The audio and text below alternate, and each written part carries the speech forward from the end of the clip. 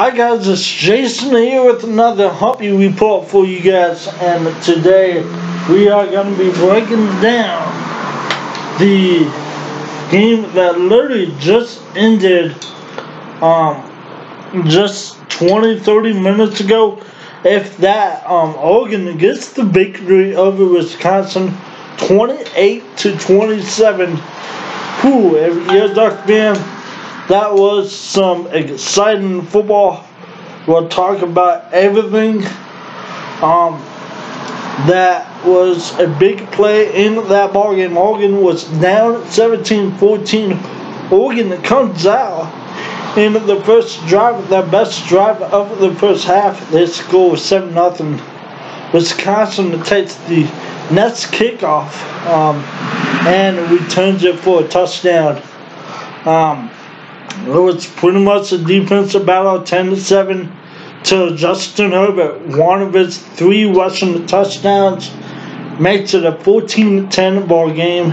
Another good kickoff return by Wisconsin. Um, Les leads the next drive for touchdown 17 14 at halftime.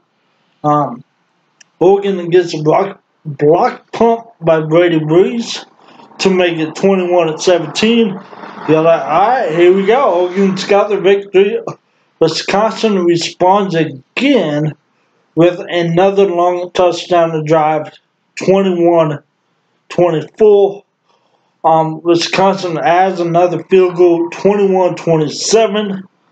Um, Oregon gets the ball, punches to Wisconsin with about 10 minutes to go and a fumble caused by Brady Breeze um, gave Oregon the ball back.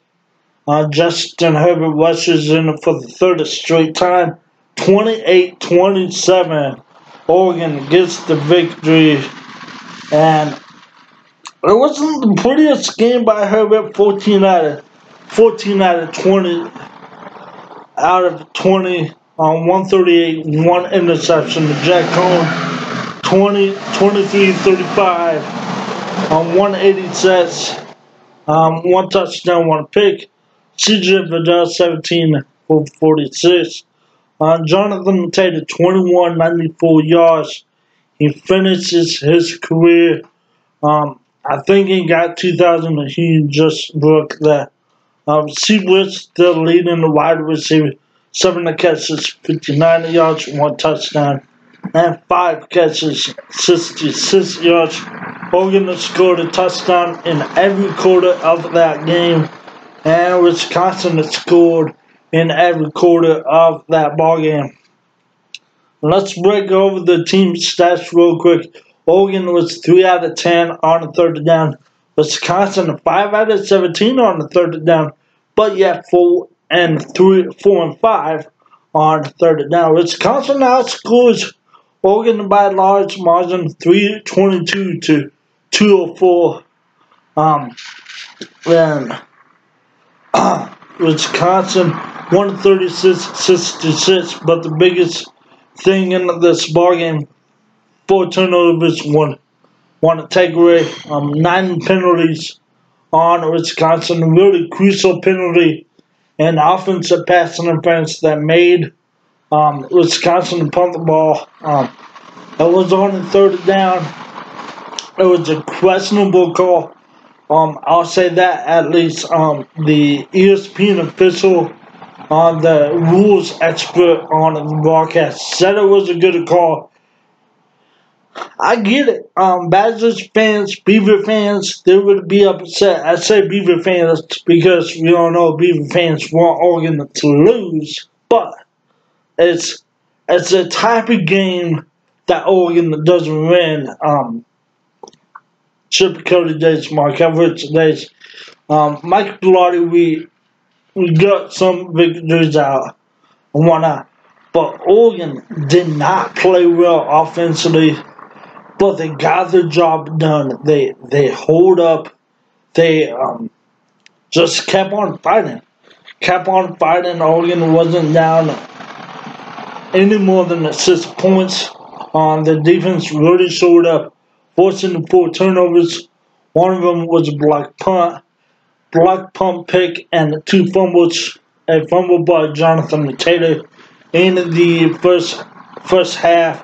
Uh, Jonathan Taylor has 18 fumbles um, in his um, um, very good career at um, Wisconsin. Um, the the number one thing that I, I take away and and I love about this victory, if you notice that the defensive player of the game, Brady Breeze, and the offensive player of the game, Justin Herbert, with his three rushing touchdowns, both of them grew up in Oregon. Okay, it was um, the two top prospects coming out of high school back in 2014. Um, the the Oregon grown and wanna um, I just love the the fact that Oregon fought and just just continued to grind and and I get it. I get it. This game could have gone the other way. Could have easily gone to Wisconsin, but Oregon gets the victory. They're your Rose Bowl champs, and I'm I'm just happy that they won. I'm very happy that Oregon won. Uh, did I say I'm very happy Oregon won? Um, knowing that Oregon gets the victory 28-27, and like I said, it could have gone the other way.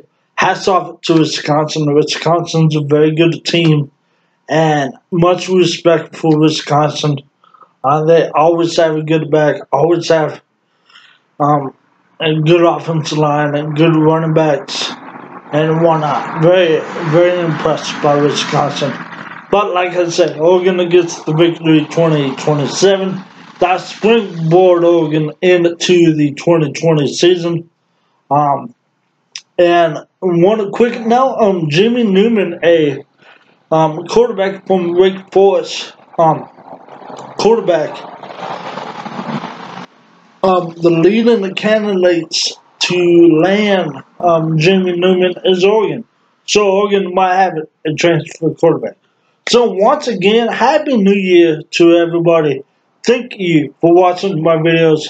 Um, whoever watches my videos, if you watch them for a minute, two minutes, or the whole video, I appreciate all your views. Um, can't wait to do this in the 2020. Can't wait for the next football season. I love football. Let's get it done. Um, Oregon, the future is bright. We lose a lot of people. But like I said, thank you for watching my videos. Have a happy new year. I hope 2020 is a great year to anybody, um, to everyone, and anybody. And like always, go Dutch and have a great new year, guys.